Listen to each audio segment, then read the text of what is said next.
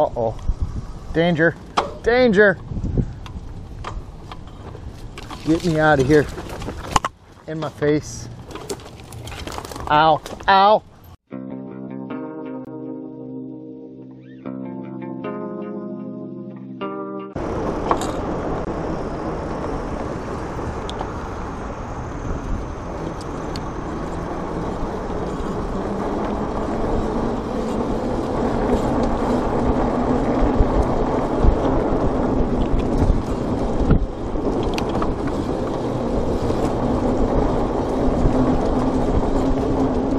Yeehaw. Here we go. How, how's that looking? A little bit soft. Lots of people.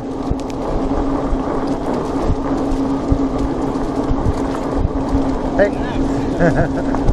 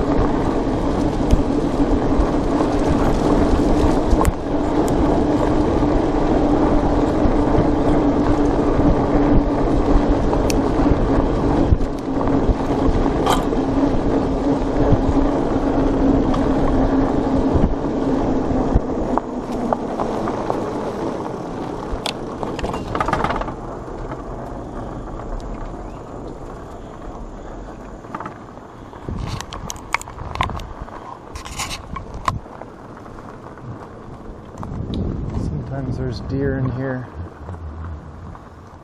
Sometimes. I was back here a couple days ago. I was back here like a week ago and you couldn't get this far. I think that's some of my tracks. Then I was back here a few days ago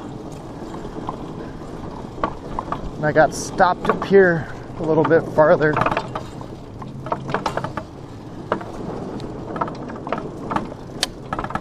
It looks like there's lots of trails now. That doesn't necessarily mean it's open.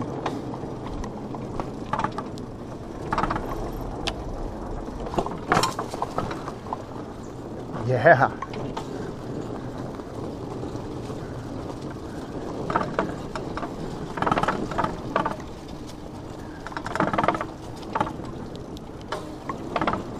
It's pretty sloppy right there. I think this is where I got stuck last time. Well, I didn't get stuck, but I stopped. Not quite this far. I was gonna bring my fishing pole. I think I'm gonna bring it next time.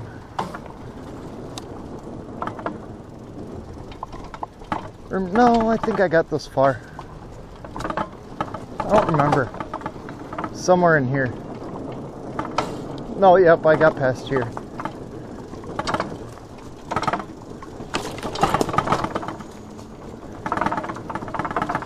Got through this. I think it's like around.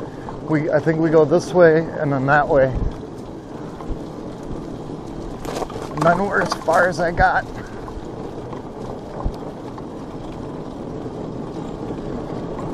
Add a little assist.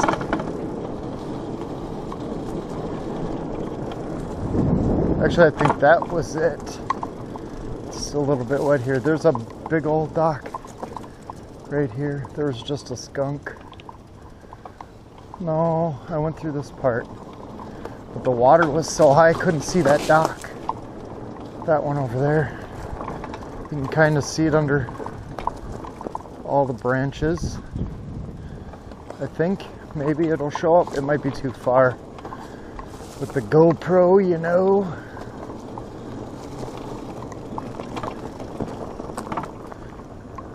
Just a big old. Re- I know I put a. Uh, uh, I should go look for it. A geocache thing in there, like ten years ago. Like with like uh, like a Lego Jedi guy or something. But this is a good spot to fish for catfish. And a lot of people, I'm learning, love to eat it. I guess I've eaten it before, but we have so many good fish around here. But anyway, I could bring out my pole and catch a quick catfish. I'll do that in a coming up video. But I love this QuietKat bike.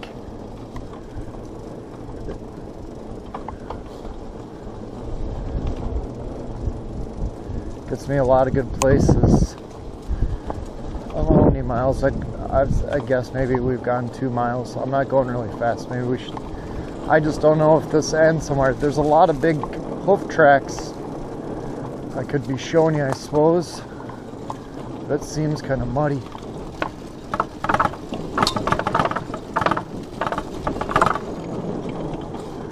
Usually, where you have to pedal down and get through stuff like that, you know, well, I mean, usually on a regular bike, you'd have to bear down, maybe go down a gear or two, get through that soft sand.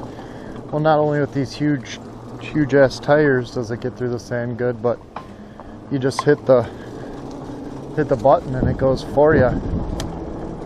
This would have been the spot to fish. Nice and sandy.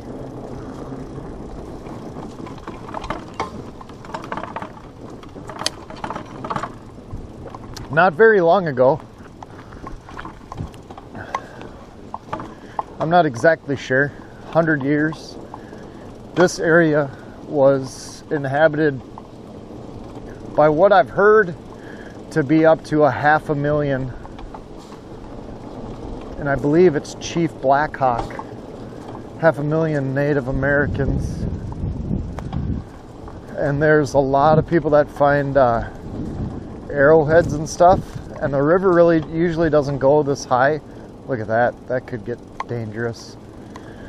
River usually doesn't go this high, so usually when it comes back down, this is a good time to go searching for arrowheads and stuff. Pull away a bunch of silt that's been there. That's cool. It's probably kind of dangerous.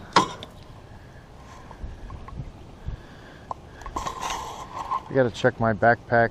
I got that OCD deal where even though I'm sure that I, uh, you know, zipped it up and buckled her down and everything, which I did.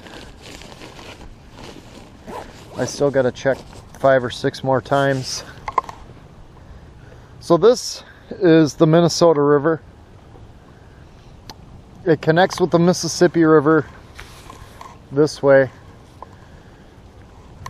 Oh, I don't know, not that far by river, probably two or three miles down that way. Uh, I'm I'm sure I'll be taking you on some Mississippi River runs, and I might even be able to somehow get this one onto that one. But this one's looking like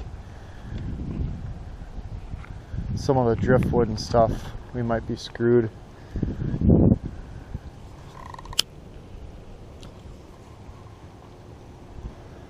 But this part right here, we should be standing up, oh, I mean, anywhere from eight feet of shore to, I've seen, I've seen where the shore is out past where those trees are. And they've had to come through here with the dredge so the barges can go through. So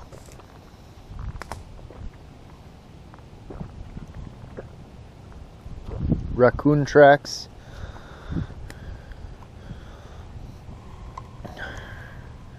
Is that a dog? Yeah, there's too many people tracks around here. It has to be a dog. I mean, I suppose it could be a coyote, but to me, seems risky for a coyote to be right here. There's so much other stuff going on just south of us. And I mean like 100 feet, 200 feet south. Uh-oh. Danger. Danger. Get me out of here. In my face. Ow. Ow. We made it. Without too much whining. See, that's the normal path in there. All this sand up here is fresh silt. Sure left a lot of it.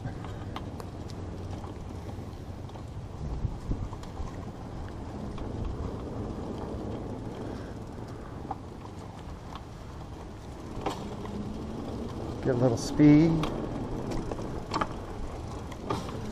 Yeah, all that muck down there, that's the normal path. I don't know how much further we're gonna get.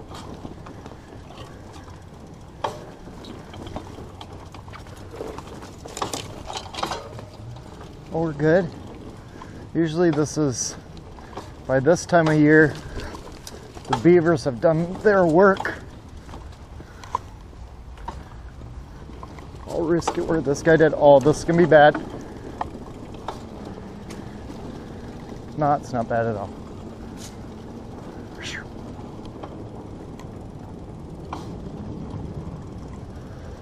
I just heard something.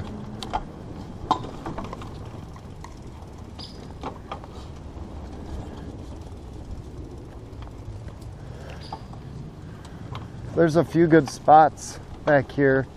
There's a bunch of deer and a couple good little holes. Chris comes out here all the time, take wildlife pictures. There's a lot of duck holes and things, you know, just right off the river.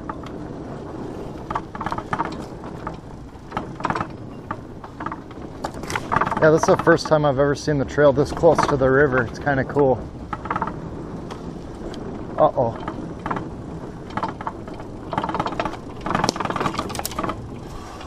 This could hurt. Ow. This way. There's that other bridge. I was wondering if I could make it to it. Oh boy. Go over this guy's tracks.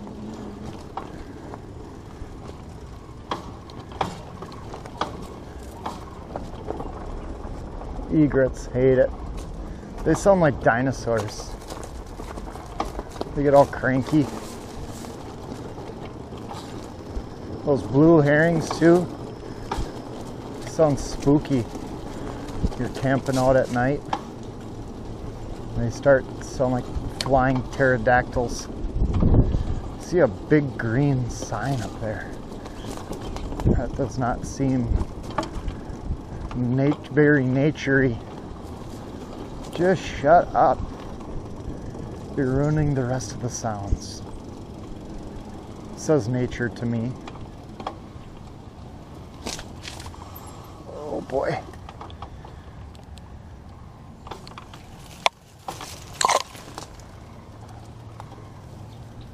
There's that other bridge. I got another geocache out there. Looks like we're we're we're dead. Darn it. How bad does it look? Yeah. Too deep. Too deep for sure.